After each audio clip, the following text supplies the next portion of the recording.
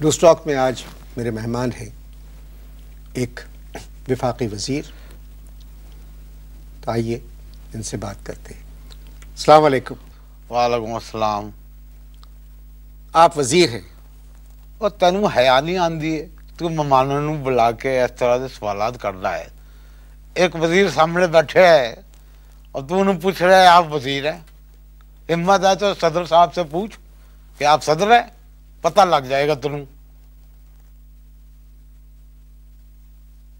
Sir एक मतलब इसमें कोई नहीं इसमें कोई इतराज की बात यार तुमको पता नहीं है कि मैं वज़ीर हूँ? तुमने किधर किसको बुलाया इधर? वज़ीर को। वज़ीर को बुलाया है तो इधर कौन बैठा हुआ होगा? कोई हया करो यार कुछ कुछ लिहाज करो। प्रोग्राम मेहमानों को बुला के उनकी बेइज्जती कर दो प्रोग्राम शुरू करने का एक तरीका होता है। की तरीका है? ਇੱਥੇ ਟੀਵੀ ਤੇ ਕੈਮਰੇ ਤੇ ਵੇਖ ਕੇ ਤੂੰ ਕਹਿ ਰਿਹਾ ਹੈ ਕਿ ਅੱਜ हमारे मेहमान एक वजीर है ਤੇ ਮੈਨੂੰ ਪੁੱਛ ਰਿਹਾ ਹੈ ਕਿ ਆਪ ਵਜ਼ੀਰ ਹੈ ਇਹ ਕੀ ਮਖੌਲ ਪਾਇਆ ਹੈ मैं माफी चाहता हूं अगर आपको मेरी ਉਹ बात ਠੀਕ ਹੈ ਯਾਰ ਗੱਲ ਕਰੋ ਗੱਲ ਕਰ ਜਿਹੜੀ ਗੱਲ ਕਰਨੀ ਹੈ ਉਹ ਗੱਲ ਕਰੋ हाँ मैं वजीर हूँ जिस दिन जलजला आया आप कहाँ थे मैं अ, मुल्क में नहीं था बाहर गाँव बाहर गया हुआ था तो आपको कैसे इत्तला हुई कि हम पे क़यामत गुजर गई? मेरे एक अंग्रेज़ दोस्त हैं। उन्होंने मुझे बताया कि पाकिस्तान में क़यामत गुजर गई है। अंग्रेज़ दोस्त? अंग्रेज़ दोस्त। क्या नाम है उनका? उनका नाम है चौधरी इलमदीन भुट्टा। अभी आपने कहा कि आपके अंग्रेज़ दोस्त एक हैं। हाँ तो अंग्रेज़ है ना अंग्रेज़ है बाईस साल से उधर रह रहा है। उसके पास पासपोर्ट जो है ब्रिटिश है। और वो बोलता भी इंग्लिश है। फुल इंग्लिश हैड पाके ते नाले बोल आके ना, नाले बोल आके बो बो। और बो का तुमको क्या पता? कट्टा पता होगा। तुम तुमने ज़िंदगी में टाई कभी नहीं पहनी तुमको बो का क्या पता होगा?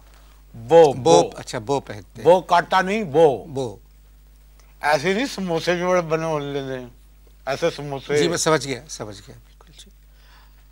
उन्होंने आपसे अंग्रेजी में कहा या उर्दू में कहा उन्होंने हमारी जबान में ही हमको कहा कहता है कि मेरी जान क्यामत आ गई है थे फिर आपने सर क्या किया मैंने लंच किया मैं समझा नहीं सर कि आपने लंच किया एक तो तू कोई गल किसी की समझ नहीं है मैं नहीं समझा लंच ਨੂੰ ਕੀ ਕਹਿੰਦੇ क्या कहते हैं लंच को लंच को लंच ही कहेंगे ना वो लंच किया मुनाफकत मुनाफकत करने की जरूरत नहीं है नहीं कै- कि जी मैंने किया तो मैंने लंच तो मैं टीवी ਤੇ ਬਹਿ ਕੇ ਮੈਂ ਗੱਲ ਕਰ ਰਿਹਾ ਕਿ ਜੀ ਮੈਂ ਬੜਾ ਰੋਇਆ ਮੇਰੇ ਬੜੇ ਅਥਰੂ ਆਏ ਲੰਚ ਕੀਤਾ ਸਵੇਰ ਦਾ ਭੁੱਖਾ ਸੀ ਲੰਚ ਕੀਤਾ नहीं मैं जो सवाल मैंने आपसे किया था कि जलजले का सुन के आपने क्या किया अच्छा पहले सबसे पहला काम जरा मैं किया वो ये था कि मैंने इस्लामाबाद में अपनी बीवी को फ़ोन किया। मैंने कहा, मैं सुनिया है इमामदीन ने मैंने दसिया है कि साढ़े ते क्यामत गुजर गई है। कहती है, हा हाय क्यामत तो गुजरी है, लेकिन अल्लाह का शुक्र है कि हम लोग जो हैं सब खैरियत से हैं। कहने लगी वालद साहब के कमरे में जो है आपके क्रैक आया है लेकिन इसमें ऐसी कोई परेशानी की बात नहीं है। आपका वालद तो पहले से ही क्रैक है। तो आपकी बेगम साहिबा ने ये बात अपने वालिद के लिए कही या आपके वालिद के लिए? और तू उच्ची सुनता है? उच्ची सुनता तू? नहीं। तो मैं तेन तो ना कि अपने मेरे वालद साहब के लिए क्या उन्होंने। उनके वालद तो कभी के फौत हो चुके हैं। उनकी पैदाइश से पहले फौत क्या हो गए थे? कैसे? उनको पता लग गया था मेरा ख्याल है कि ये पैदा होने वाली है। मगर सर इस वक्त हम बात कर रहे हैं जलजले की। बड़ा काम किया बड़ा काम किया। लेकिन यार ये टीवी वालों को कभी तफीक नहीं हुई कि एक दफ़ा भी दिखा देते। आपने क्या किया सर? Frankly speaking Anwar. मैंने वो काम किया है जो एक बेटे की एक पुत्र की ज़िम्मेदारी है। इससे बड़ी क्या बात होगी कि एक वज़ीर और उसने सबसे पहले अपने वालिद साहब का क्रैक भरवाया।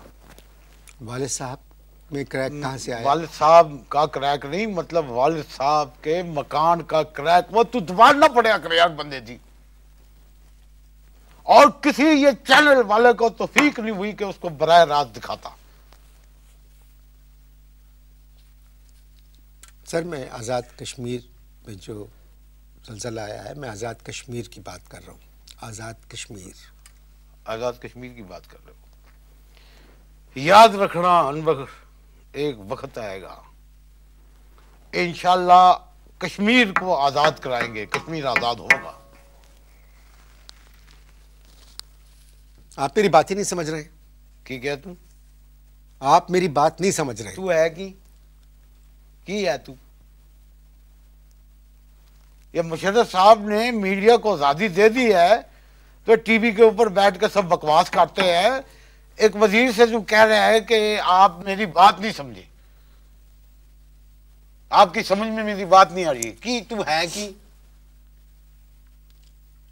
सर मैं मकबूजा कश्मीर की बात नहीं कर रहा हूँ।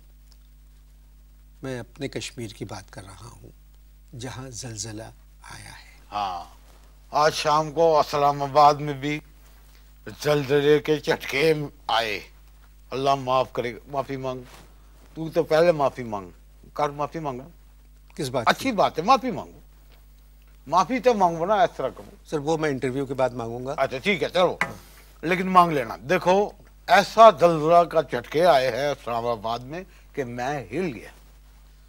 चलिए अल्लाह का शुक्र आप हिले तो सही। क्या मतलब है? तू तंस कीता है? नहीं मैं तंस नहीं किया मेरे से तंस कीता है तू? नहीं मैं नहीं तंस किया बिल्कुल। अच्छा। मैं आपसे बात कर रहा हूँ अपने आज़ाद कश्मीर की जहाँ जलजला आया है। मैं कश्मीर की बात कर रहा हूँ।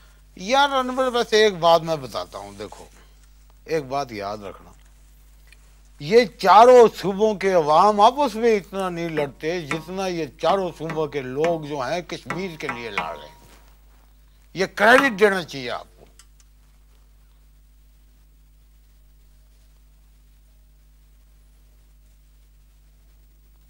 आप मुजफ्फराबाद गए। हैं? आप मुजफ्फराबाद गए। कौन? आप। मैं? जी। मुनाफक टॉपिक चेंज कर देता ना तू टॉपिक कहाँ चेंज किया मैंने? टॉपिक चेंज कीता ना तू।